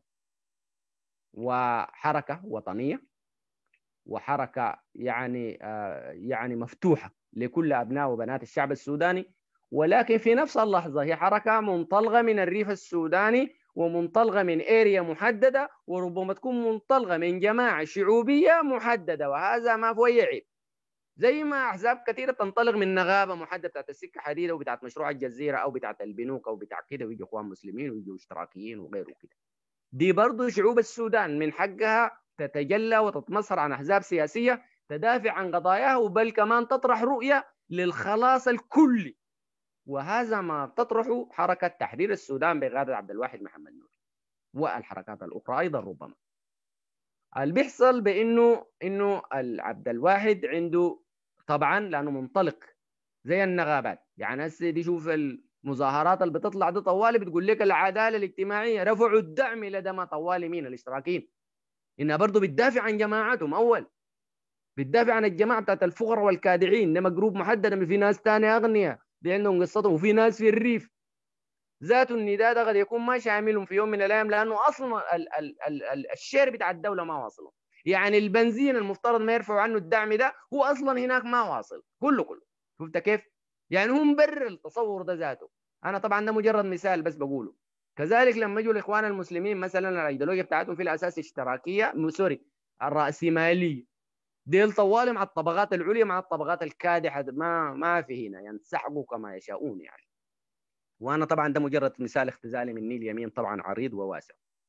آه ومجرد مثال يعني كاركتوري بحاول أوضح الصورة بس عشان هسه بتحدث عن عبد الواحد وحركته إنه في الحقيقة في مطالب هناك. مطالب إنه في ناس نازحين مفت... أنا بقول السلام كيف يتحقق ولازم في تكلفة الدفع. وما في مثاليات لأنه في حاجات واضحة في أرض الواقع مادية وعملية. لازم. تتحقق ال... ال... ال... الأرض يتم استعادة الأرض لجماعات واسعة بشكل عادل وشكل فير يعني شكل لا يهضم حق أحد موجود في المنطقة. لكن لازم الناس النزحوا يرجعوا إلى حواكيرهم مناطقهم. ولازم تتم تعويضات لأنه فقدوا الكثير. بواسطة الدولة ولازم تكون محاسبة للجناء ايا كانوا بشكل عادل وواضح سواء كان داخل الوطن أو خارج الوطن بالطريقة التي يرتضيها شعبنا وترتضيها الجماعات دي نفسها. إنه دي الثلاثه حاجات الأساسية المرتبطة بالأقليم نفسه وبعد ذاك حاجة رابعة وأخيرة. يتم تنمية إلحاق يعني الناس زي ما تأخروا يتم يعني إض- دفغة مادية تنموية عشان تلحقوا الفاتوا دي الثلاثه حاجات الأساسية الأربع حاجات الأساسية. دي لازم تتحقق عشان يحصل سلام فعلا على الأرض وما تقوم لك حركة تاني إذا وقعت مع زول إذا ما عملت الثلاث أربع حاجات دي السلام ذاته ما بيستمر لأنه ما قايم عليه أرضية حقيقية. أسبابه دي أساسا في الأقليم المحدد. بعد ذاك حركة تحرير السودان نفسها. عشان تضمن ذاته استمرارية السلام لازم تقول بإصلاحات إصلاحات بنيوية في المؤسسة بتاعت الدولة نفسها. ده ضروري جدا عشان السلام هناك يتحقق والحرب تاني ما تقوم. لازم اذا شنو؟ الحركات دي نفسها سوى الحلو بتنطبق على نفس الحاجة دي. يعني عبد العزيز الحلو نفس المطالب لعبد العزيز الحلو. ولكن بعد ذاك اللي بيحصل شنو؟ إنه لازم قلت يتم إصلاحات هيكلية على مستوى بنية الدولة ما تعجز يعني أنا لا أقبل بانه الدولة لم تتصاغ كلها من جديد ده مستحيل. هو ذاته البروسيس بتاع صياغتها من جديد ده بيحصل كيف؟ يعني الفرتقه كده هي وين ذاته عشان فرتقة؟ لازم هي حاجة معنوية. لازم إنه الجماعات دي يتم استيعاب الجيوش بتاعتها داخل المؤسسة العسكرية والمؤسسة الأمنية والمؤسسة الشرطية. عشان يحصل سستينابيلتي للسلام وعشان المؤسسات دي فعلا تمثل أركان السودان الأربعة وتكون مؤسسات وطنية فعلا واحترافية فعلا. تضم كل أبناء وبنات السودان بلا تمييز. وده المفترض يحصل. بعد ذاك الخدمة المدنية يحصل فيها نفس الشيء.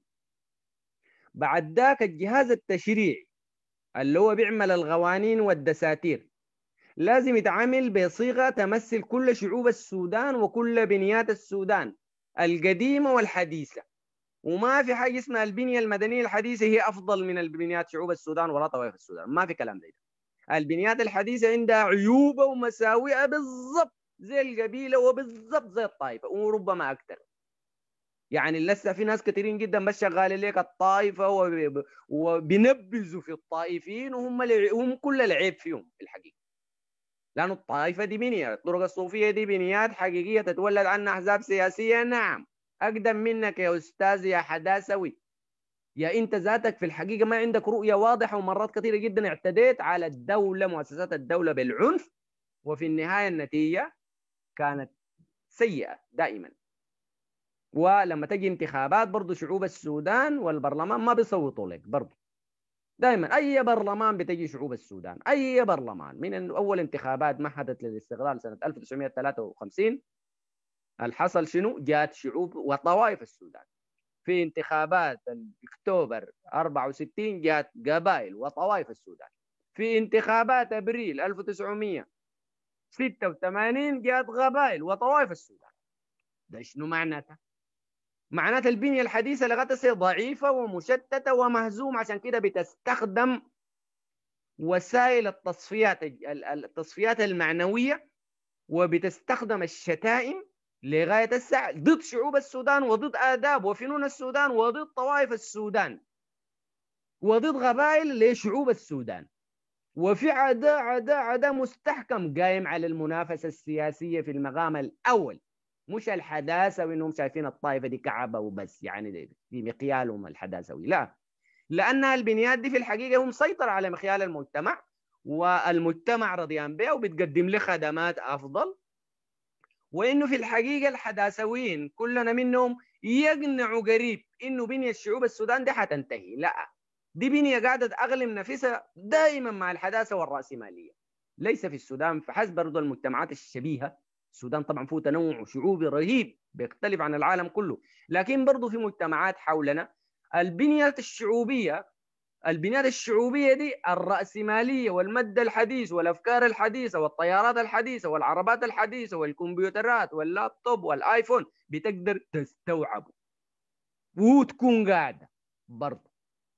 forever بالضبط كده. لازم تتعامل معاه وتعمل تصالح وسلام معاه وتفهم بأنك أنت عادي زيه عندك فقط حزب سياسي قايم عليه مصنع ونقابة محددة وقايم عليه مدرسة. كليات جديدة أو مصانع حديثة أو تجارة حديثة أو أو اقتصاد حديث عموما يعني. بعدين الاقتصاد الحديث برضو القبيلة والطائفة قاعدين يعملوا شنو؟ قاعدين يتأقلموا معاهم. الطائفة قاعدة تتراجع لأنه البنية المدنية كلما تمددت البنية المدنية الطائفة بتتراجع. لأنه قلنا في يوم من الأيام الطائفة كانت بتمثل البنيات المدنية الحديثة بتمثل مدنيات في يوم من الأيام. لأنه جميع بيجوا سبعة عشر قبائل في المسجد مع بعض. لكن هي قبيلة طبعا براء والقبيلة بني أصلا ما قايمة من الفراق يعني شعوب السودان. قايمة لأنه هناك مصالح مادية مادية مادية. في المقام الأول بزنس وتجارة وأمن وسلام بتحققوا البنيات دي لجماعتها وبتسعى لتجي تعمل له sustainability على مستوى الدولة لما يحصل برلمان. ولما تحصل انقلابات عسكرية بيرفعوا السلاح. أول انقلابات العسكرية بتحاول تعمل اتفاقيات معاهم زي الإنجليز ما عملوا نظام الإدارة الأهلية والإنقاذ لما فشلت معاهم برضه حاولت تستوعبوا إنه هي ذاتها في النهاية تحولت إلى قبلية وعنصرية وكده يعني لما فشل فشل برنامجها. لما فشل البرنامج بتاع العنف الطال حاول صياغة الإنسان السوداني يقول القصة دي صعبة. قاموا هم ذاتهم لما فشلوا رجعوا إلى شعوب السودان. قالوا نحن ذات شعوبيين دي اللحظات الأخيرة. وقلنا إنه قبل إنه في الحقيقة بنيات القبائل بتاعت السودان شعوب السودان ما بتتولد عنها أحزاب يمينية كله كله. لذلك برضه اليسار الطبيعي مرات بيقدر يتخاطب معاه ويتخاطب مع جون قرنق يقول لك جون قرنق ذاته ماركسي ويتخاطب مع الناس زي أحيانا بيحاول يتخاطب معهم. لكن ما بالضرورة هذا الخطاب حقيقي لأنه وما بالضرورة بيوصل إلى نتائج كويسة لأنه ما بنيوي لأنهم هم ما داخل الأحزاب الاشتراكية جوا. ولا هم أصلا منشأهم من البنيات بتاعت القطاعات الحديثة. إنما بنيات قطاعات السودان الجامعة الرعي التقليدي والزراعة التقليدية. وحتى قلنا لما تتمكنن ال ال الاقتصاديات دي وتبقى حديثة برضه شعوب السودان حتظل باقيه دي القصة الأساسية. وبعدين اليمين برضو اليمين الاصطناعي بتاع المدينة برضو مرات بيقدر يتخاطب مع اليمين الطبيعي. زي ما مثلا الترابي عمل الجبهة الإسلامية ضم بعض الصوفية ولكن معظم التيارات رفضت تيارات محددة بس القبلة الوقت ده. ونحن طبعا ما بنقيم لكن هسه أنا بحاول أقول إنه عمليا السلام بيتم كيف؟ ما تنسوا الحياة اللي أنا قلتها إنه السلام بيتم بالأربعة نقاط اللي أنا قلتها اللي هي مجددا اللي هي الأرض استعادة الناس. لأرضهم بشكل عادل وفير ومعقول. النازحين وبيتم بتعويضات وبيتم آه وبيتم بتنمية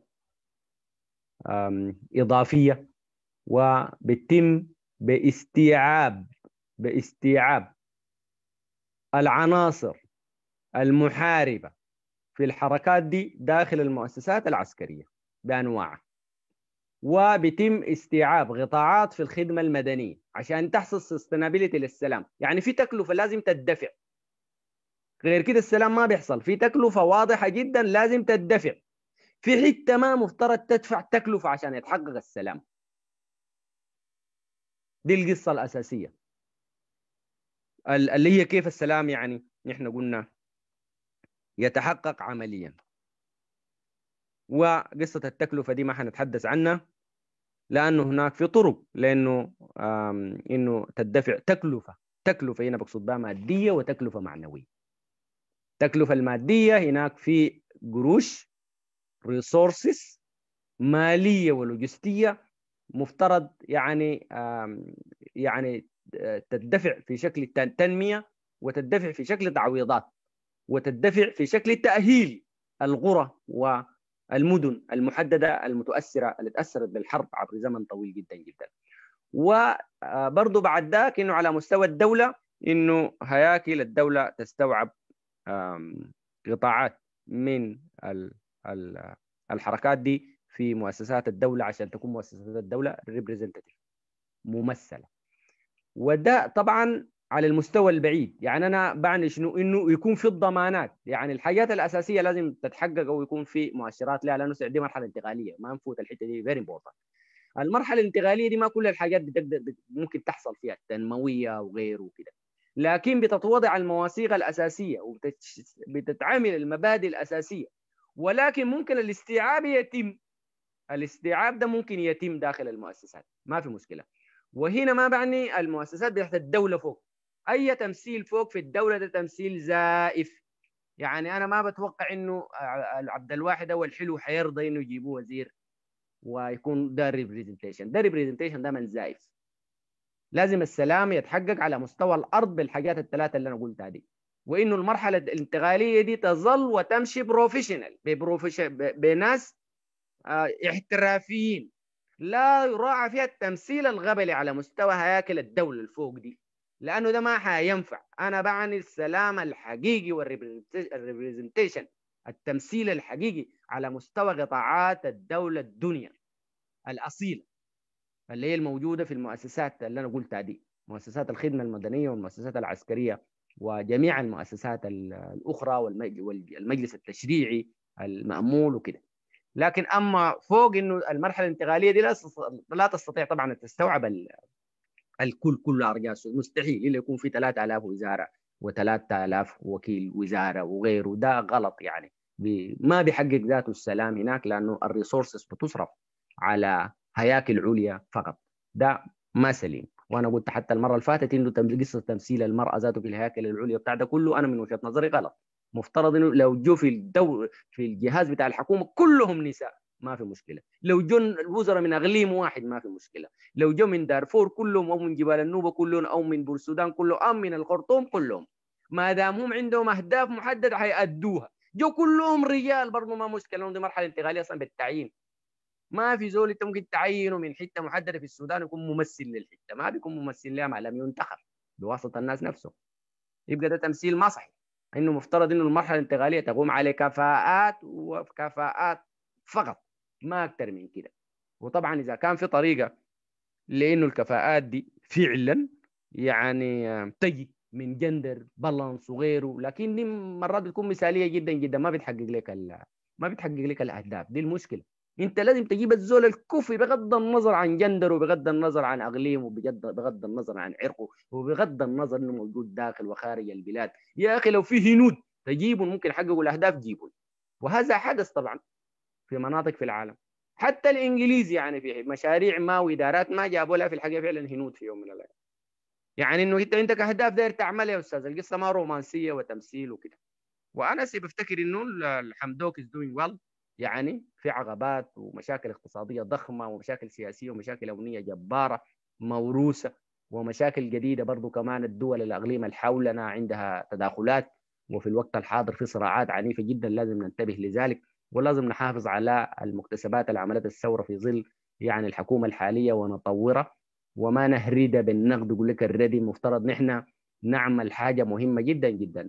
نعاين للحاجات الجميلة ونعلم من شأنها ونساهم مع بعض في إنه كيف حقيقة المرحلة الانتقالية دي هي المرحلة الانتقالية كيف نمر بها بسلام وبأمن وفيها مشكلة طبعا وما بيرفكت وكله ده عارفينه والوثيقه الدستورية ما كاملة ده كله عارفينه. لكن دي صيغه ارتضاها شعبنا في لحظة ما ذكية جدا جدا. ليحفظ الدماء ويحفظ الوقت أيضا. لذلك الصيغة دي مفترض نطورها ونمشي بها لقدام. وسع في الوقت الحاضر الليلة في مؤتمر يعني من أجل السودان. السودان يتأثر بالأقليم ويؤثر فيه. والسودان في يوم من الأيام قدم خدمات لدول كثيرة جدا. مش خدمات بس مادية وعينية بس لقدم لهم بشر ذات ساعدوا في تطوير ونشأة ونهضة الأمم دي الاقتصادية والسياسية والثقافية. نحن الآن محتاجين للعالم مفترض نطلب من العالم يساعدنا ويقف معنا عندنا لحظة صعبة جدا جدا ونقبل كل حاجة خيرة من العالم لأنه نحن قبل ده قدمنا وتاني بنقدم بنقيف مع الناس. حتى ألمانيا نحن في يوم من الأيام قدمنا لها اغاثه دي حقيقة. خلي الدول اللي حولنا قدمنا لهم إغاثات وكان السودان بيستقبل الناس الهجرات الناس الجو عندهم مشاكل عبر التاريخ. يبقى نحن هسه عندنا مشكلة نطلب من العالم والأقليم يساعدنا في حلها بشكل عادل وفير ولكن الواجب الأول هو واجبنا نحن. لكن طبعا الأقليم والعالم متداخل معانا اوروبا عندها مشكلة الهجرة يعني الليجل immigration بما بيسموهم الهجرة غير الشرعية. دي نحاول نوقفها ونحاول نعمل حاجات عادلة للناس دي اللي دايرين يهاجروا هجرة غير شرعية ديل. بالذات اللي بيجونا من الأقليم يعني انهم زادوا الهجرة دي غير كريمة ممكن يموتوا في البحر والحاجات اللي بتحصل لهم. لما لا تدعم المعسكرات ذاته في السودان ذاته؟ آمنة ويدوم حق اللجوء في السودان ذاته إذا كان عندهم قضية عادلة أو إذا إرجاعهم إلى بلدانهم. دي, دي الدولة الوطنية بتتطلب ذلك يعني. ووفق الاحترام والمسل والداير لكن يهاجر بطريقته ما عبر السودان. يعني نكون واضحين دي تكون واضحة. بالنسبة للخليج وبالنسبة للدول اللي حولنا عندها مصالح مشتركة معنا عبر التاريخ وعندها حدود ونحن نؤثر في أمنها ونتأثر به. لازم نتخاطب معهم بشكل عاقل وواضح. بالنسبة لأثيوبيا وسد النهضة لازم نحن الخبراء بتاعنا قالوا شنو القصة دي ما سياسية. سد النهضة ده بيعمل سد النهضة ده بيعمل لنا شنو؟ بنستفيد منه شنو؟ الضرر شنو؟ إذا الضرر أكبر من المصلحة مفترض حسب الخبراء قالوا شنو؟ جهازنا السياسي وإدارتنا السياسية تتصرف. قالوا السد بيعمل بيدمر البلد السد ضدنا طوالي نحن نقيف ضده. قالوا السد يا أخي ما بفيدنا بأي شيء بس بيفيد أثيوبيا برا ما مشكل. قالوا بفيدنا وبفيد أثيوبيا وبفيد دول الجوار كلها يزكي لكن إذا الضرر بقى على البلد في الحاضر أو المستقبل الأجيال المقبلة. يبقى أنا بقول هنا شنو؟ إنه نحن نحن جزء من الإقليم نتأثر فيه ونؤثر نتأثر به ومفترض نكون fair وعادلين مع بعض ومفترض هسع نشوف صيغة للعيش السلمي المشترك ونوقف الاحتراب بقدر الإمكان إنه العمد والنظار الموجودين في شرق السودان وفي غرب السودان قيادات الحركات المسلحة اللي هي سورت القبيلة، القبيلة كان أصلا زمان بس العمد والنظار اللي بيارسوها وراثه ودي الناس كويسين وأدوا خدمات جليلة في التاريخ وفيهم بقايا في الحاضر ما زالت بتأدي دورها لكن القبيلة الآن تم تسويرها وبقت بقودوها بقودوها الشباب يعني متعلمين وبقودوها شباب يعني شنو؟ جو بالانتخاب وجو بنضالاتهم الحقيقية من أجل القضايا. الأقليمية والقضايا الوطنية لأنه عندهم اقاليمهم متميز بلغاته ب... وبتاريخه ومتميز كمان برضه باحتياجاته. بالتالي الحركات دي يعني هي جاءت من الريف لتصلح الكل. وفي ناس بيجوا من المدينة إلى الريف برضه برضه في نال إصلاح الكل. يعني ما في عيب في الحركات دي. وبالتالي أنا بقول إن الحركات دي جعلت ثورة القبيلة. يعني و... ونتجت عنها أحزاب وطنية وأحزاب يعني وحركات الحركات المسلحة دي. يعني أنا بفتكر يعني عملت صحوة كبيرة جدا لأهلنا بالذات في الأرياف وورتهم إنه عندهم حقوق مادية ومعنوية. دي حاجة كويسة جدا جدا لما الناس يكونوا عندهم وعي وطبعا مؤكد الحرب عملت ضغائن وعملت مشاكل وفي بروباغندا حرب. خلف النظام البائد من عنصرية وإقصاء وإقصاء مضاد. ده كلنا إحنا مفترض نقيف ضده ونحاربه لأنه ابدا ما في أمة منشقة بتعمل حضارة وتعمل سلام. ابدا ما بيحصل. حقوق الإنسان اللي اتعملت في أوروبا دي ما اتعملت عشان العالم الآخر. اتعملت عشانهم نفسهم. حقوق الإنسان الإعلان العام لحقوق العالم لحقوق الإنسان تاسس فعلا سنة 1948 يعني بعد الحرب العالمية الثانية اللي انتهت سنة 1945 كتلوا بعض مذابح مذابح لم تحدث في التاريخ. لذلك هم عملوا الإعلان الإعلان العالمي عشانهم هم نفسهم. نحن لازم نعمل السلام العادل عشاننا كلنا نحن ذاته في السودان في المدينة وفي الريف وفي المدينة أول كمان لانها هي المتاثر الأول بالحروب وال والكوارث اللي بتحصل والريف مجرد بيكون ضحية طبعا مؤكد ضحية كبيرة على المستوى المادي والضحايا على المستوى المادي الشهداء والجوعى وكده. لكن المدينة بس بصلة تخلف وهذا ما يحدث عندنا. وبتتخلف مؤسسات الدولة وبتتكسر والاقتصاد بيتكسر وبيتدمر زي ما حصل عندنا هسه هذا وأنا بهذا أظني بكتفي. والليلة كان يعني يعني نحن اللايف بتاعنا انقطع مرتين لأسباب يعني فنية. آه وبتمنى إنه أكون قلت حاجة مفيدة وممكن نواصل في الموضوع. وهكذا. أنا انتهيت. شكرا لكم. شكرا جزيلا أستاذ محمد جمال الدين على التشريح الرائع جدا جدا في موضوع كيف ممكن يتحقق السلام. وضربت مثل بعبد الواحد محمد نور وعبد العزيز الحلو. إنه أيوة. الأربع حاجات بس عشان يعني يكونوا في في في الذاكرة قريبين. إنه أول حاجة الأرض والعودة بتاعت الناس لأماكنهم. نعم. والتنمية. أيوه. والرابعة. آه أيوه. سوري. أنا كنت أنا قال لك أنت اللي حتحددهم أنت. آه نعم. آه أيوه أيوه. والرابعة اللي هي آه أنا قلت طبعا وكده. أيوه إنه يتم آه إصلاحات بنيوية آه نعم. في مؤسسات تكتيكية في الدولة يعني نعم. الإصلاحات دي استيعاب مش الإصلاحات. أنا طبعا قصه إنه هنالك مركز وهنالك هامش القصة دي. يعني طبعا دي قصة معقدة جدا لأنه أصلا ال- أي دولة في العالم عندها مركز. نعم. دي ما دي, دي حقيقة. طبعا أي دولة أمريكا روسيا هولندا المملكة العربية السعودية مصر أي حتة لازم يكون فيها مركز. والمركز لازم يكون عنده characteristics مختلفة عن الريف. لأنه في حاجات كويسة المركز فيه تعليم أكثر دائما بيكون كده البنوك أقرب لكن الريف فيه صفاء أكثر برضه دائما عشان كده بيقول لك الريف الإنجليزي الانجليز بيمشوا يهربوا من لندن اللي فيها البنوك وفيها الجامعات ويمشوا الريف البعيد. ما فيه أي شيء. فيه البنوك وفيه مستشفيات صحيح تمام. لكن إنه لأنه بعد ذاك بيكون فيه صفاء الجو. وفيه الأكل الطبيعي الكويس اللي بيعمل لك صحة طبيعية. في إلى آخره. يعني إنه الريف عنده مميزات والمدينة عندها مميزات لكن أي حتة في العالم لابد إن عندها مركز لكن هذا المركز مفترض يكون عادل وفير ويمثل أركان البلد الأربعة دي القضية بس على جميع المستويات يعني الاقتصادية والسياسية والثقافية والاجتماعية طيب إنت في موضوع ما هبشته اللي هو الموضوع بتاع تمويل عملية السلام دي نفسها يتم كيف؟ هسه حاليا في اليوم في المؤتمر بتاع اصدقاء السودان و... وفي ناس كتار جدا بيكون عندهم امتيازات. ورثوها مم. أنا بتذكر دكتور مهم. تامر تامر محمد أحمد اللي هو في. في كلية الأنثروبولوجي في جامعة الخرطوم كان قدم لنا محاضرة في اعتصام القيادة العامة. كان عندنا خيمة الباحثين السودانيين هناك. أنا كنت مدير المنصة. والمحاضرة كان عن مستويات تسقط بس. يعني تسقط بس ليست سقوط آه، البشير. تسقط بس ليست آه، اسمه شنو ده تغيير وزراء ولا كده. إنما. تسقط بس هي إنه الناس الفئات الأضعف في المجتمع تلقى ال representation وتلقى الطريقة بتاعت المشاركة وتلقى الامتيازات اللي كان بيستمتعوا بها الناس القريبين من السلطة. مش كده؟ أيوه.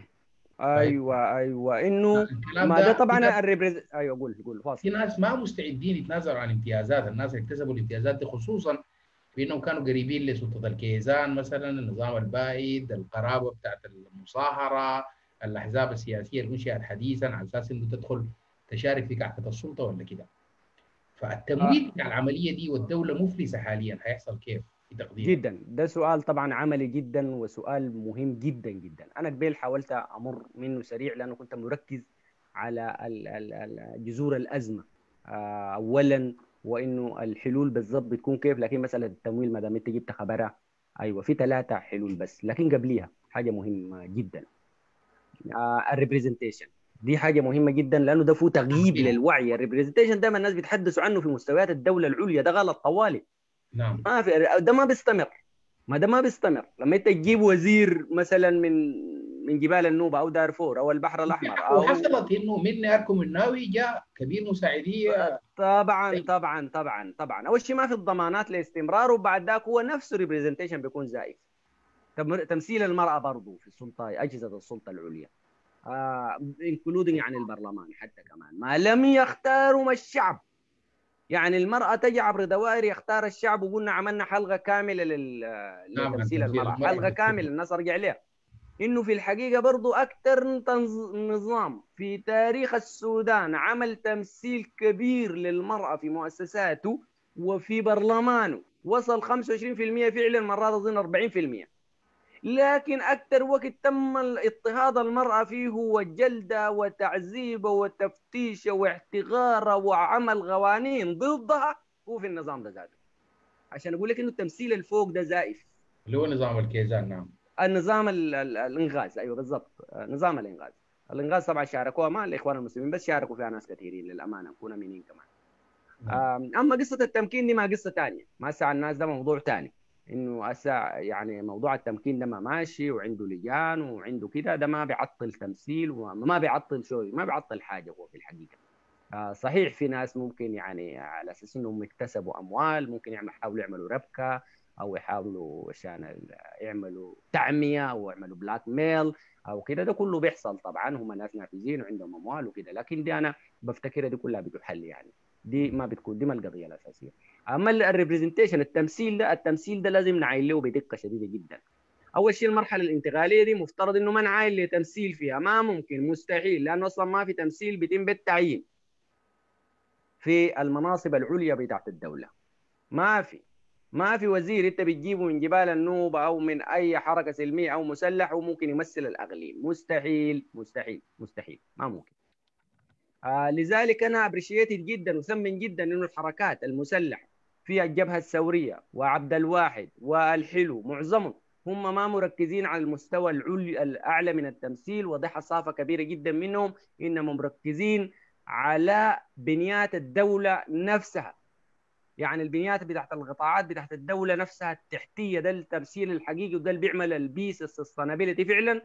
وبيحقق فعلا اذا الدولة بتكون representative الفوق ديل بعدين بتجي الانتخابات واي أقليم بيجيب ناسه. ممكن يجي رئيس الوزراء من دارفور أو يجي من البحر الأحمر أو يجي من جبال النوبة أو يجي من النيل الأزرق أو هكذا يعني. دي بعدين التمثيل والشعب هنا يجيب ناسه. المرة الجاية نحن قلنا الحلول.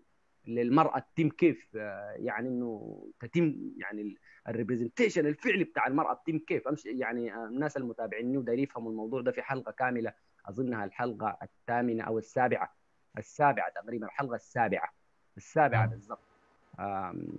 إنه كيف تمثيل المرأة ممكن يتم فعلا حقا ويعني فعلا إنه اذا المرأة ممثلة في هياكل الدولة. لكن ما بالتعيين ما بالتعيين. أما قصة التمويل. قصة التمويل طبعا التمويل السلام في ثلاثة طرق له الطريقة الأول هو كت في الميزانية نفسها.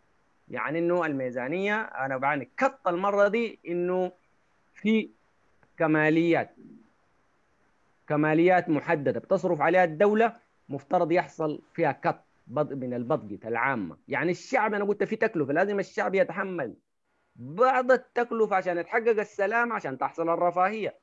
والميزانيات اللي بتصرف على الحرب والأمن وال... والصراعات القبلية والحاجات دي تجيف. بعد ذاك بتجي فايض للميزانية يتم الدعم دائما للأساسيات وبنمشي باتجاه الرفاهية والحضارة والنهضة. ده رقم واحد. ده إذا استحال أو إنه ما كفاية والغالب إنه ما كفاية فلازم يتم استدانة. يعني عادلة من أجل هذه القضايا. يعني استدانة من الخارج. اثنين لازم نحن كمان نستخدم علاقاتنا في الأقليم لأنه الأقليم متداخل معانا والسلام في السودان في مصلحته. كثير ما كل المناطق يعني ما كل العالم اللي حولنا عنده مصلحة في السلام لكن في شعوب ودول حولنا عندها مصلحة في السلام والاستقرار في السودان عايزة بزنس في السودان عايزة سلام للشعب السوداني عايزة سلام لنفسها عايزة الشعب السوداني يشارك معاها في النهضة وفي الاقتصادية وكده. دي برضو نحن نستطيع أن, أن, أن نستخدم علاقاتنا في الأقليم وعلاقاتنا في العالم من أجل تمويل السلام.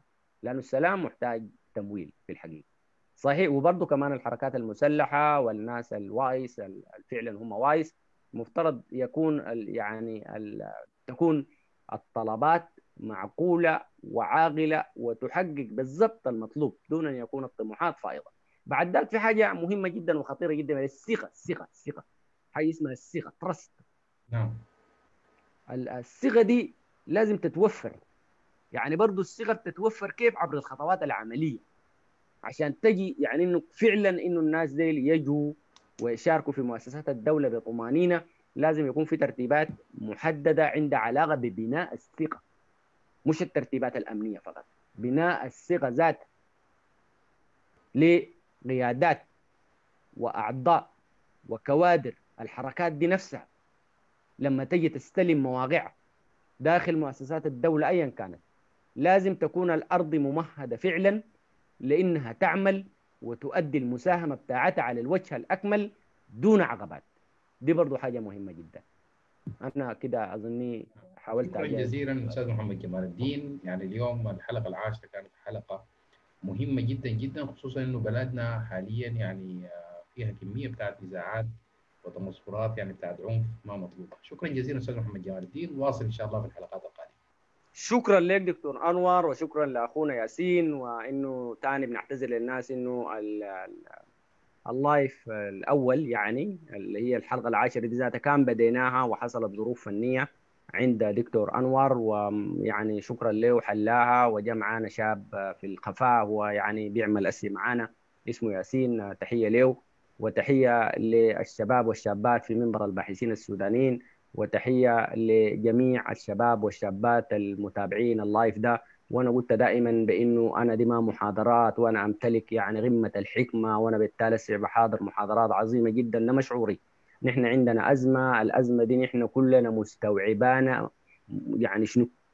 مستوعبة كل طاقاتنا ومهدرة كل طاقاتنا. نحن مفترض نتفرغ للبناء والأطباء يتفرغوا يفتشوا لقاحات لكورونا والصيادله يعملوا أدوية والقانونيين يطوروا صيغ قانونية والمعلمين يدرسوا تدريس كويس والعمال يشتغلوا كويس في مزا... والمزارعين يشتغلوا كويس في مزارعهم والعمال يشتغلوا كويس في مصانعهم يكون ده همهم. ما همهم كلهم الأزمة الأزمة الأزمة الأزمة الأزمة. الأزمة دي هي دائرة التخلف بشكل مستمر. بشكل مستمر بتهدر طاقاتنا بتكسر مؤسسات الدولة بتهدر حتى نفسياتنا يعني وتجعل الناس غير سعيدين وفقراء ومعذبين. لازم نحن نجتهد في إنه نحقق السلام. السلام بمعناه الشامل والسلام ليس مع الحركات المسلحة الرافعه السلاح فقط وليس مع الأحزاب يعني الموجودة في الأطراف فقط. إنما السلام بيننا على جميع المستويات. نحن حتى في المست- المستوى المديني يعني الكيانات الموجودة في المدينة. تجمع التجمعات المهنيين والحرفيين والنغابات بتتشقق بتتحارب بت... بتنتهك شخصيات بعض وحقوق بعض بتكوش صراعات صراعات عنيفة. الأحزاب السياسية الموجودة في المركز متشاكسة. حزب الأم الشيوعي مع حزب الامه نتكلم بصراحة وال... مع ال- السوداني مع الشيوعي ال- كده التيارات اليمينية. لا ترى شيء غير نفسها وأي زول بس شايف نفسه بس حتى على المستوى الشخصي. نحن يعني عندنا نفي لبعض نفي نفي على جميع المستويات المستويات. ما رضيانين من حاجة لا من أشكالنا لا من ألواننا لا من لبسنا لا من طريقة كلامنا لا. ما رضيانين من أحزابنا السياسية ما رضيانين ما رضيانين من اي شيء ما رضيانين من أكلنا وشرابنا ما رضيانين من مظهرنا ما ما رضيانين من ريفنا. سمي لك ده, ده العوض والنكات كلها. احتقار لبعض والقبائل احتقار لبعض وحرب وشكل مع بعض. دي لازم تقيف ولازم تكون في آليات لإيقافها. من ضمن هذه الآليات هي طبعا النعي. كلنا إنه آه، يعني هذه الدائرة الجهنمية من الاحتراب بتؤدي إلى تخلفنا وإهدار طاقاتنا المادية والمعنوية. ده لازم ننتبه. له ونفتش الآليات ال- ال- الموضوعية؟ لإيقاف ذلك والخروج من هذه الأزمة المتطاولة إلى بر النهضة والحضارة والسلام والأمن تلك هي الغرض شكرا جزيلا شكرا. شكرا. شكرا